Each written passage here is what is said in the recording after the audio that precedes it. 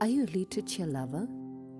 Are you tired of reading literature that does not resonate with our time?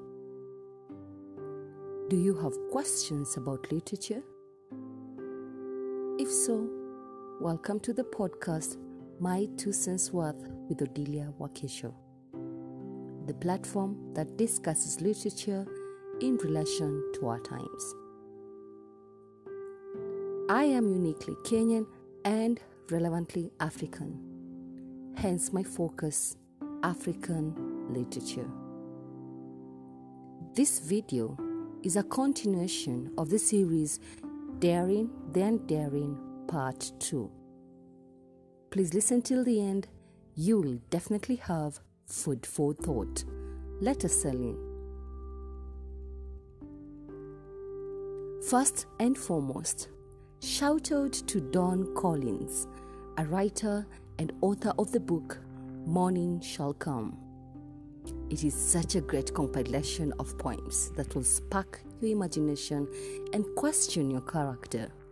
Grab a copy. Don, the literary conversation was invaluable. A kind reminder if you're new in my channel, please subscribe and if you're sort of on and off, kindly, kindly revisit the former episodes to understand any current episode you're in. My previous episode, part 1, entailed an interpretation of Daring the Undaring based on literary global context with a mix of self perceptions. This episode, part 2, is designed to give a laid back, random, yet tangible, literal reality check that guides the understanding of daring the undaring in the form of guiding objectives. Do listen.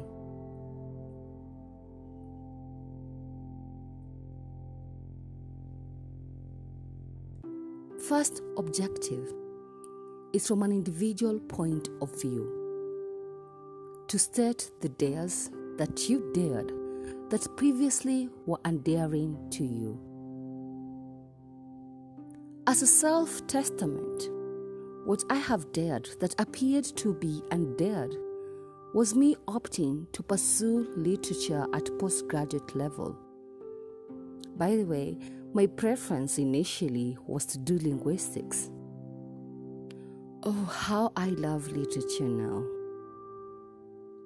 Secondly, I dared the undared by undertaking a literary research project that was poetry based, away from the typical research projects.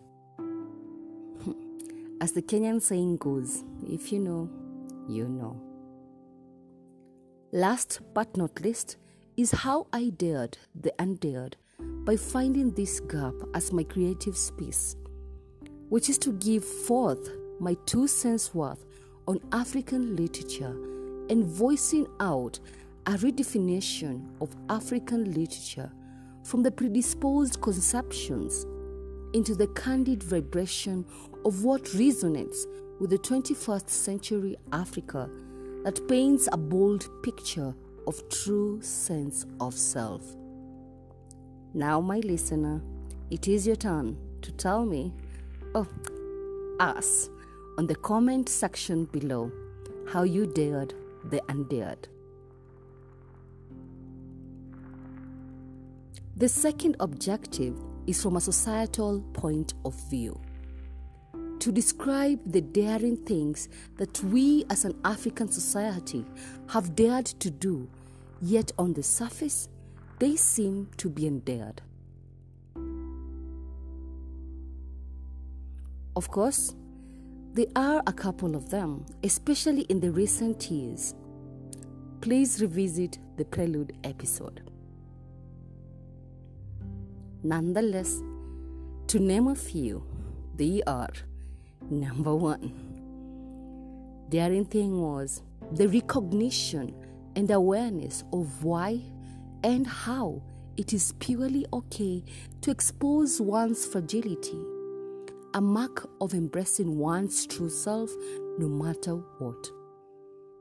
This is a postmodernist concept that has been dared, which seemed to be undared in African society. The second one is the eradication, eradication of gender stereotypes in all spheres of life. The third one, the empowerment of the girl child that its aftermath has surprisingly overpowered the boy child. As the boy child is yet to be groomed on how to cohabit with this empowered girl child. Something so undaring.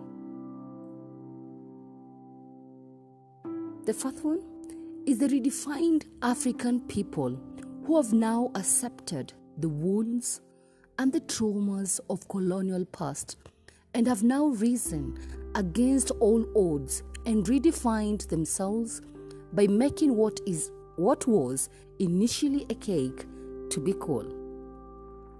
An acknowledgement of reclaiming our Africanity. Some of the small scale evidences are, of course, the coming back of kinky afros and natural hair looks. Second one, the passionate pride of African beauty.